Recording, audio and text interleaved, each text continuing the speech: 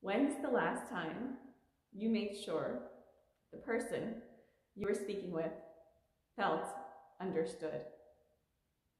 I'm Pinky Shah here with Fairway Mortgage, and I wanted to share with you an important lesson in how to help others, how to influence others, and how to make a difference for others. And this is something that I learned through uh, a webinar I listened to this weekend on parenting for high schoolers, another webinar I listened to about, uh, it was marketing related, and my life coach, who um, I had my session with last week, who, by the way, I highly, highly recommend. So if you're ever looking for one, let me know. I'm happy to share his contact information.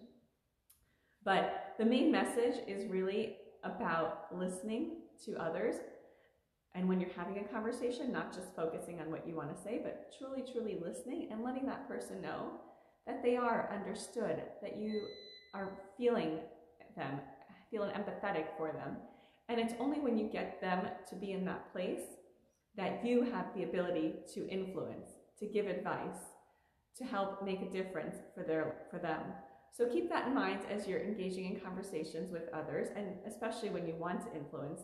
First, make sure you take the time to listen, and this happens with our children, our you know, coworkers, family, friends. There are no amount of times that we're not trying to influence folks, right? And and sometimes we think it's for their own good, but if they're not ready to receive that information, then we're not making any difference. So something to keep in mind. Let me know if you have anything that you can add to this that can help me be a better influencer. And you know, my first context was with respect to my family. Um, so uh, look forward to hearing your thoughts on this topic. Pinky Shah here from Fairway Mortgage. Have an amazing day.